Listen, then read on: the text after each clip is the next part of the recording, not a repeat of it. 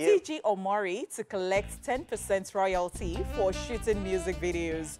Nigerian music video director and cinematographer, uh, thank God, uh, Omori, that is thank God Omori, Yeah. popularly known as TG Omori, has come to air his opinion about what he intends to do in future as regards his craft. TG Omori, who doesn't shy away from speaking his mind, took to Twitter to state that he might start charging a 10% royalty on the video he shoots as he hopes to use the proceeds to fund his planned expensive lifestyle. He tweeted, in due time, music video directors will be getting at least 10% royalties from the streaming income of every music video directed for their moral contribution to the visuals. With this, I can successfully buy my dream island and private jets. Hmm.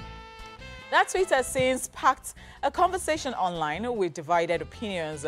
We'll definitely, you know, be keeping a tab on this subject to see how it will pan out. Okay, so um, I don't think it's out of place, No. right, to want to have a certain percentage for something that you have creative input in. I mean, it's done in every other industry, even producers. Yeah. You go to a producer to make a song for you, for Of instance. course. You will pay him for a service of making the song, but he has royalties in the song afterwards as well. Um, he has credits as well. That's why when they're giving awards, they'll give everybody that is involved in it, you know. Even in movies as well, royalties to the actors, even after you've paid them for the role, they still have royalties. So it's not out of place.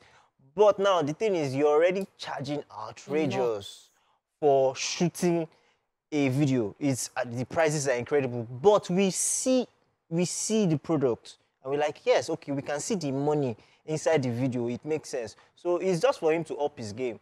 You know, at the end of the day, um, when you put it on YouTube, for instance, you get your money from YouTube, and you know that okay, certain there's what they call the um, the, sh- the spreadsheet um, where everybody has, Everybody has their the input and royalties and everything, and ten percent is there. It's it's it's it's understandable, you know. But um, at the end of the day, he's he's moving. I like the competition. I like what is happening in the music video industry as well because that's another creative aspect, and I, I'm. A, he could do all right. The thing, the thing with uh, TG Omori is he is not scared to say how he course, feels. of course. And it will always come out to air his opinion. Mm-hmm. And he's always trying to change things because it feels like if this is the norm and I'm not okay with it, then I'm not okay with it. So you have to do something about it.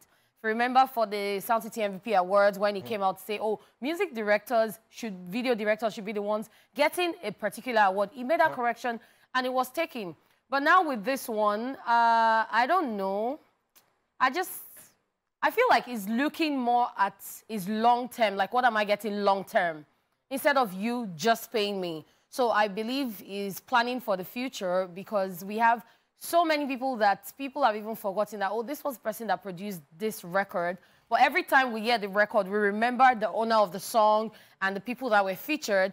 And these people are still getting their royalties behind the scenes. So I feel like it will be a good one if that happens. And if he can reduce his money, Sha, before people choke. Uh, Honeyfoot, free your mind, free your mind. Actually, totally uh, agree with um, everything Chipo said.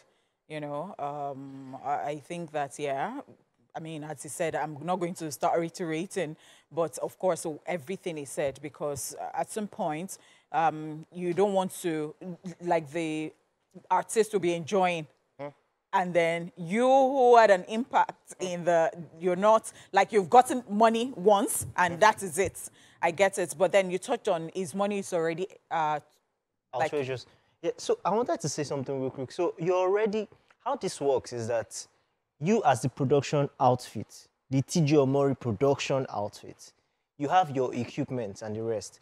Now, most of these monies for the video, when you see the price, $135, $150,000, all that stuff, is, is when you start to break it down, you see the breakdown. They are, they are renting equipment there, they are doing all that stuff. So if you want royalties, then you're telling me that you're bringing your resources You get? Then I'm paying for the basic things, maybe logistics, I'm paying for this, I'm paying for that, Exactly. the necessary stuff. So that means the price has to come, Calm down, like small. I said, reduce it. Yeah, it's, it's bargain. Yeah, what do you call it? Bargain. bargain, So it has to come small. Yeah. And then we'll now say, okay, you're getting this percentage over time.